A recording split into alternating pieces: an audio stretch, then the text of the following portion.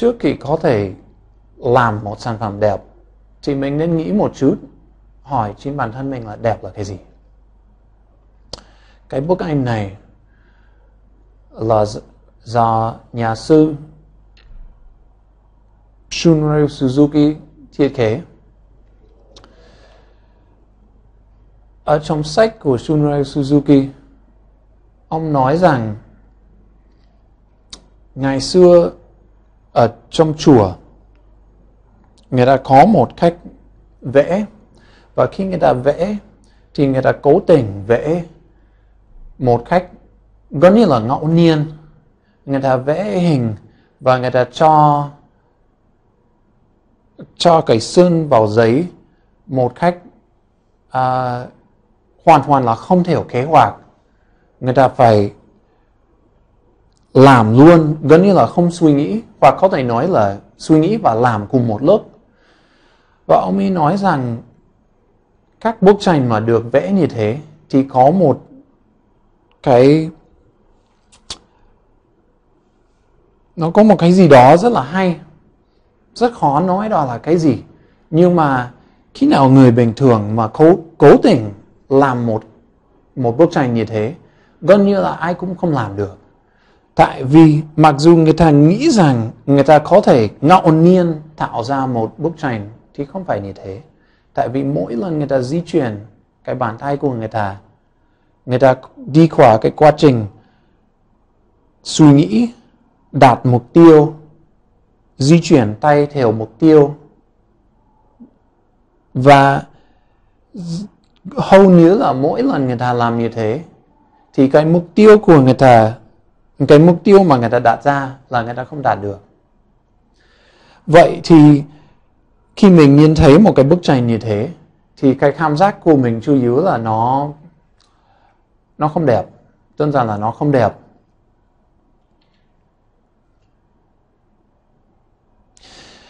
Nó không đẹp tại vì mình đã đạt một mục tiêu và mình đã chưa tới trong kỳ học cách thiết kế slide thì đó là điều mình cần phải hiểu được. Là không ai có thể nói thế nào là đẹp, thế nào là không đẹp. Mặc dù nhiều khi mình thấy một cái bức tranh đẹp, thì hầu như là ai cũng biết nó đẹp. Thỉnh thoảng là có một người nói nó không đẹp.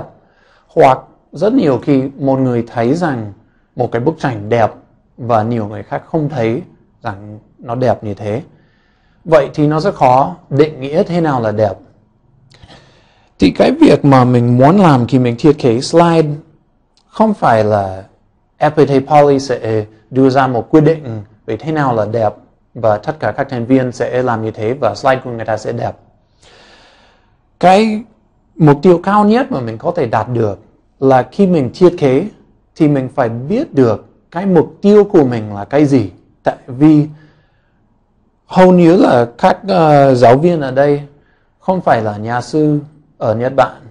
Và người ta không thể tạo ra một cái bức tranh theo cái cái kiểu ngẫu nhiên à, của của của thầy Suzuki mà người ta sẽ tạo ra một bức tranh hoặc tạo ra slide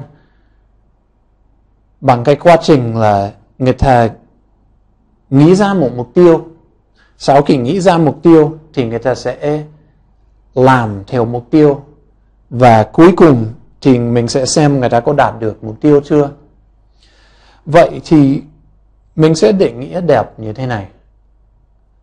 Nếu slide thể hiện là mình đã có một mục tiêu thì mình phải đạt được cái đấy. Đơn giản là như thế.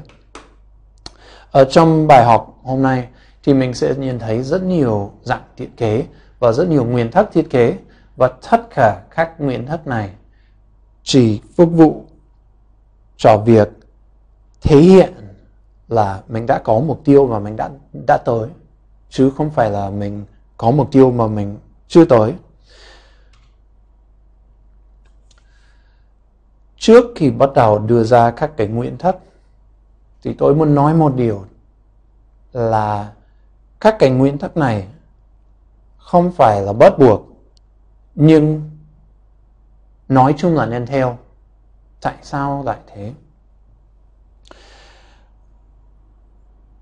trong quá trình thiết kế slide thì mình sẽ gặp rất nhiều trường hợp là tôi không thể biết trước được. Và trong trường hợp đó thì giáo viên hoặc người thiết kế sẽ phải sáng tạo một giải pháp cho nó hợp lý. Và nhiều khi người ta sáng tạo thì người ta không thể theo cái, không thể theo cái quy định mà mà mình đang đưa ra trong bài học này. Vậy thì mình nói, mình có thể nói là sai là đúng. Có nghĩa là nhiều khi trong trong thiết kế hoặc là trong mỹ thuật thì khi mình sáng tạo một cái mới, thế mới là hay. Còn mình làm theo cái truyền thông thì có thể là không phải là sai, nhưng mà nó có thể là không hay bằng thế nhưng mình vẫn đưa ra các cái nguyên tắc thiết kế. Không phải vì mình muốn bắt mọi người phải theo cái đấy nhưng vì mình muốn có nguyên tắc để người ta biết mình đang theo hay không theo. Và mình sẽ có một cái uh, uh, một cái cách làm việc chung là nếu giáo viên hoặc nếu người phát triển chương trình thiết kế slide và nó đẹp hơn, tốt hơn so với các nguyên tắc mà tôi đang đưa ra trong bài học này. Thì rất tốt và không có vấn đề gì cả. Nhưng nếu người ta thiết kế một cái slide mà nó chưa nó chưa chưa tốt bằng các cái ví dụ, các cái dạng thiết kế trong bài học này, vậy thì hãy theo các cái dạng thiết kế trong bài học này. Đây là một cái nguyên tắc chung cho tất cả um, tất cả việc của nhóm blended learning là mình luôn luôn có quy định có quy trình có um, phương pháp làm việc. Nhưng không ai bắt buộc phải theo cái đấy. Ai mà có ý tưởng tốt hơn thì có thể làm theo ý của mình. Nhưng mà ai mà chưa có gì tốt hơn thì hãy theo uh, theo quy định. Um, một ý tưởng rất đơn giản và rất là hiệu quả khi mình muốn uh, làm đẹp cho slide. Là luôn luôn nhớ là nếu mình có thể đơn giản hóa cái slide của mình thì nó sẽ đẹp hơn.